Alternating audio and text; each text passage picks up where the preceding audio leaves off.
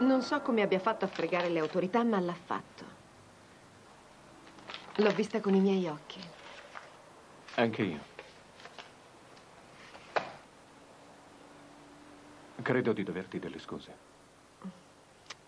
Siamo identiche, da sempre.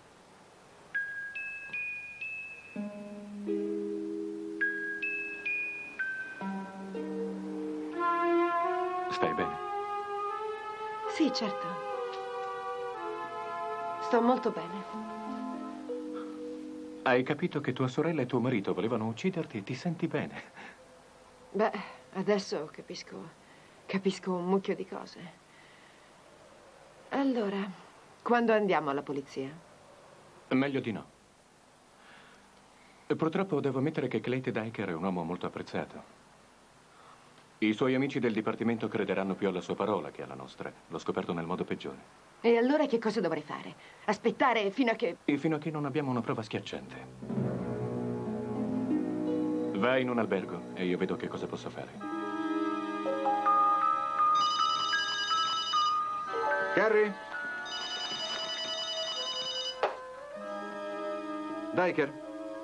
Sì, posso fare un doppio turno. Quando vuoi? Okay.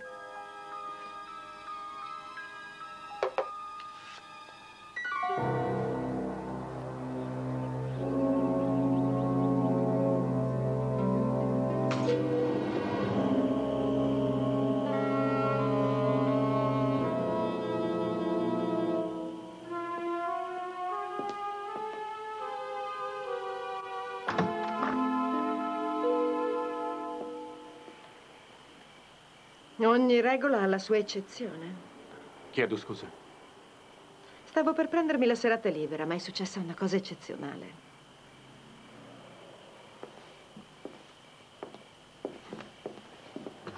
Dicono che alle prostitute non piace il loro lavoro, solo soldi, niente piacere. Ma Ma ogni regola ha la sua eccezione.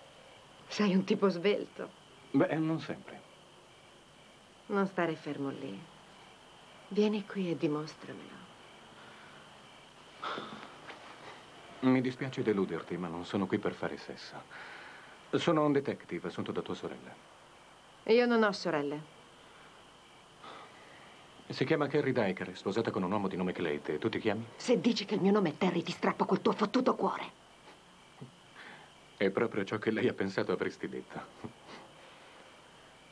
A quanto pare mi conosce bene. Forse lei non è l'unica. Sa che sono tornata? Sì, lo sa. Chi altri? Nessuno. Le ho detto di tenerselo per sé. Perché lo hai fatto? Guadagno circa 30.000 dollari l'anno. Ho una ex moglie che si rifiuta di lavorare e due figli vampiri in età scolare. Dedico tutto il mio tempo a questo lavoro per poter mantenere la famiglia.